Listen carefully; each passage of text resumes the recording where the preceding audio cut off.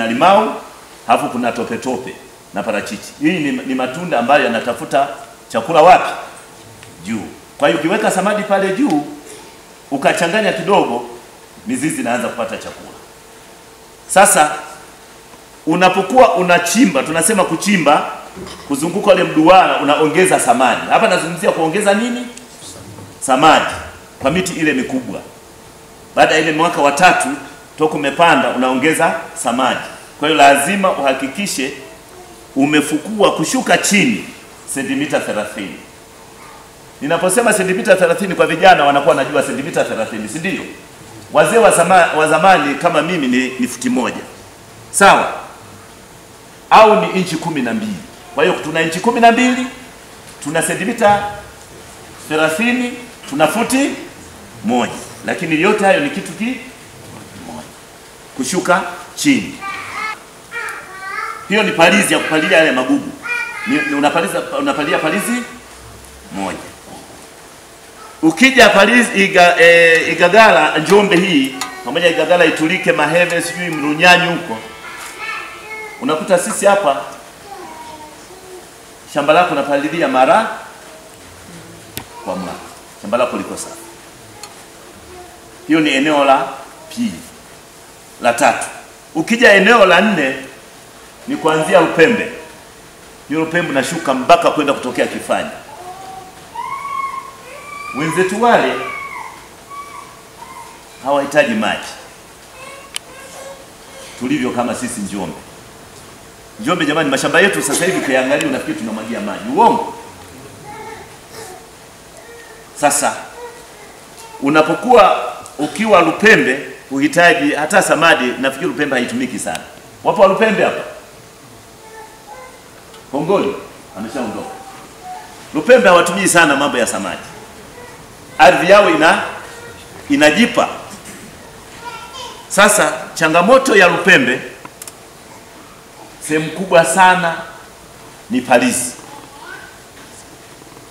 Ndio maana kwamba shamba lako sisi halina ratiba ya kupalilia, ni wakati wote ni kufanya nini? Ni kupalilia. Lakini sasa palizi hizi kutokana na nini? Na mazingira. Unakuta Lupembe palizi ili shamba lako liwe vizuri mpaka zaidi ya tano kwa mwaka. Uongo jamani? Nyasi kule zinakuwa haraka. Lupembe. Pia huku sijazungumzia habari za madawa. Lupembe kunahitajika sana nini? Madawa, kwa sababu kuna hali fulani ya joto, kuna kajoto kidogo Lupembe.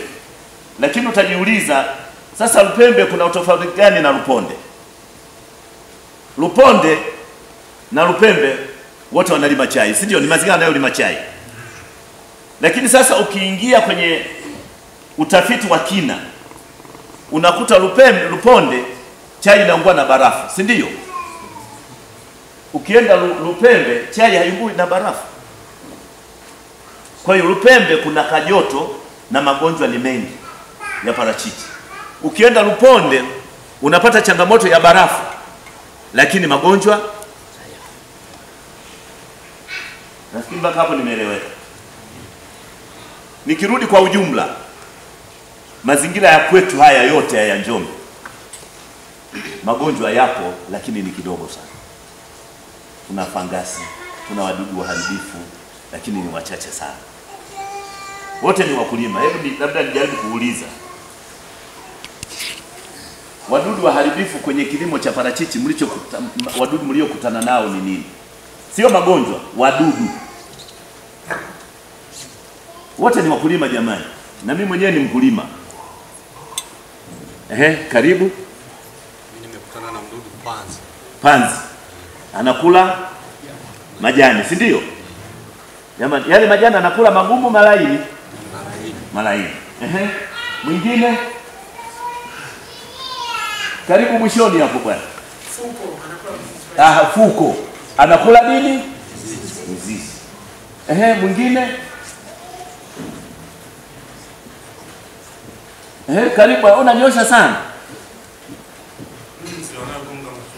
Inzi wanaogonga matunda. Asante sana. Sasa tuanze utatuzi. Ehe, karibu. na wadudu fulani wanaruka, wana mabawa magumu na wana rangi ya kubadilika bluu na nyeusi. Aha, Wanakula maua maua. Asante sana. Jamani, hawa wote hapa sasa ndio tunaonekana wakulima tupo. Ukiona maswali watu wanapowauliza maswali yao, basi ujue kwamba wakulima tupo. Ehe, e- eleza, yani wote hao wanasikia. na ugonjwa umejitokeza kwenye miti mle, inakuwa kama majivu.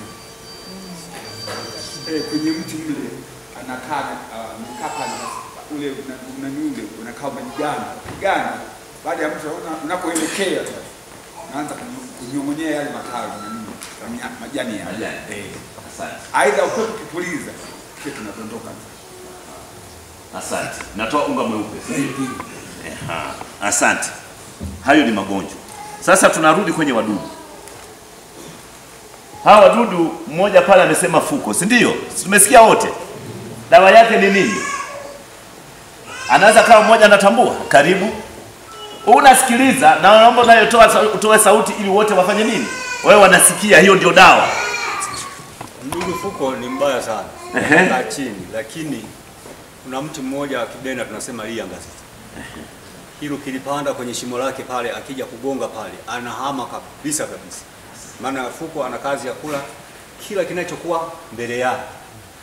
Sasa akifika kwenye tunda, kwenye mche wa tunda li- lile, iye ni kugonga tu ili apite. Sasa ukiweka ule mti pale, atakuja gonge tu, sikula tu ni kula tu, atakula. Akila naona ule mti haufai kabisa, na ama ile njia, anahamia sehemu nyingine. Jamani, tumesikia wote. Narudi swali, liangaisi watu wengi hawalijui. Jamani, mnalifahamu liangaisi? Mnalifahamu? Naomba unyoshe mikono wanaolifahamu liangaisi. Sasa naomba kabla hatujanyosha, jamani, hili ni somo ambalo tunatakiwa tulishike vizuri.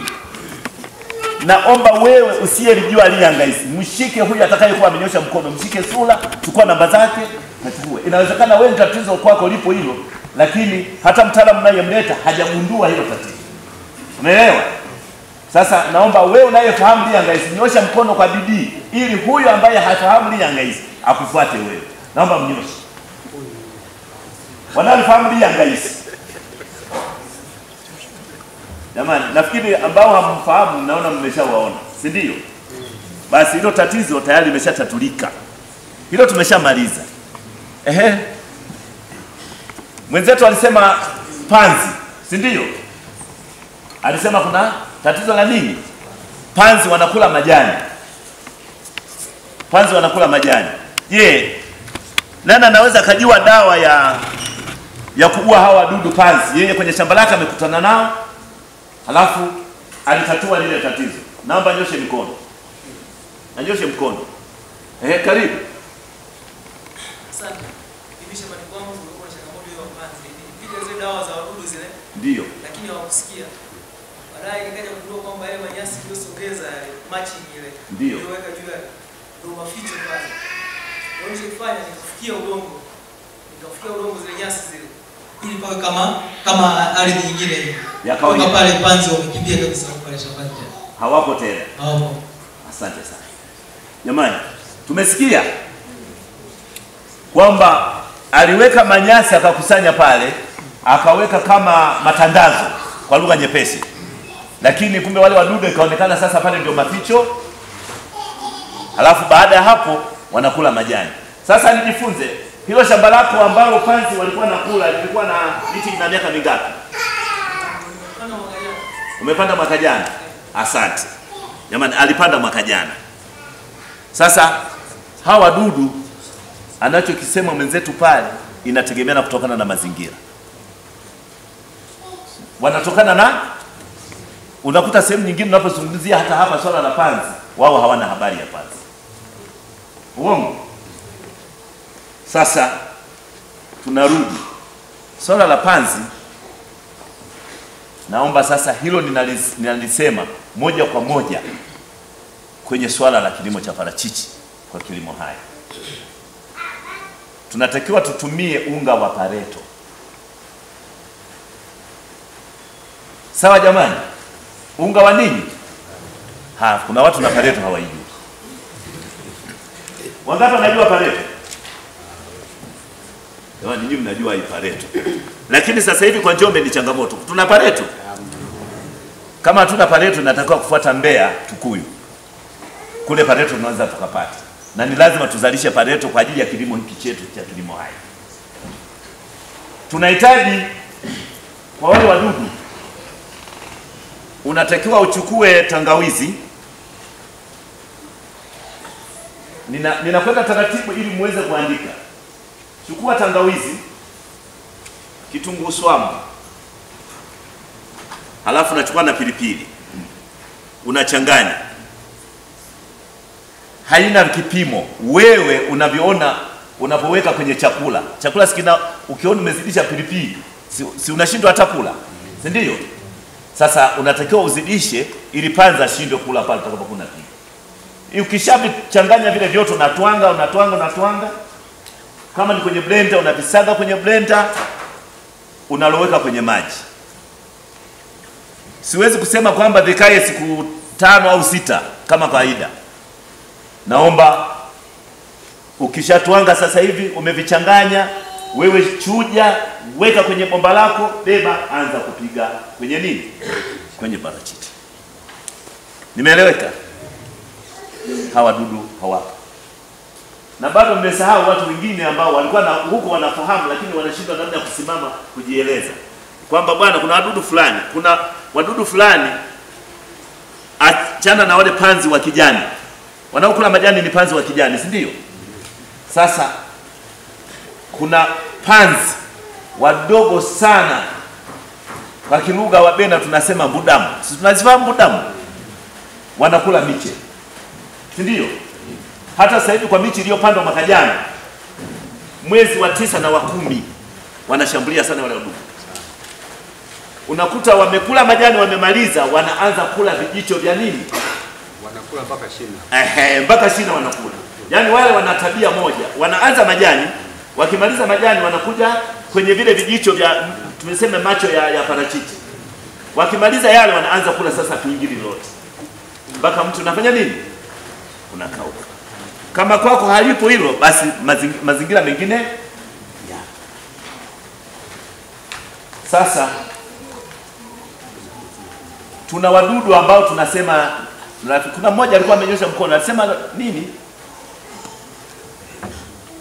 hivi, ni pale e, ulisema nini? Ehe, tuna inzi wanaotoboa nini matunda. Hebu tujifunze ni aina wa, wana rangi ipi? Kama ulifanya uchunguzi, kwa sababu ni wakulima wote.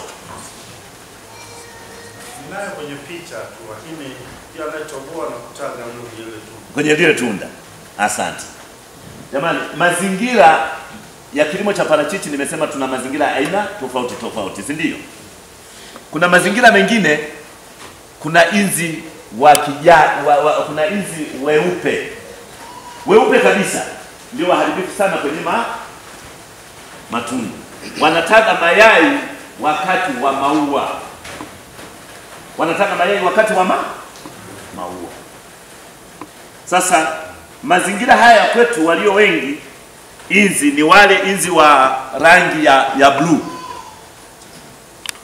Tunafahamu wale inzi rangi ya bluu. Kuna inzi wale ambao kwenye choo zetu za mashimo walikuwa wanapatikana sana, si ndio jamani? Basi wale wadudu ni waharibifu sana. Sasa utawaona wakati gani? Utawakuta wakati wa maua kuanzia saa mbili na nusu mpaka saa tatu na nusu wanakuwa wanapotea. Unawakuta wale wapo ni inzi wa rangi ya bluu. Inzi wa kawaida hawa huwezi kuwakuta, na tuna nyuki wale wasiouma, wale hawana shida. Tuna nyuki hawa wa kawaida hatuna shida lakini wale inzi ni hatari sana. Na wale inzi, tuna wadudu wengine, tuna umbu hawa, umbu wa kawaida hawa. Muda huo niliosema, unakuta wanacheza kwenye ma, ma, maua, mti wenye maua, lakini kama mti hauna maua huwezi kuwakuta wale wadudu.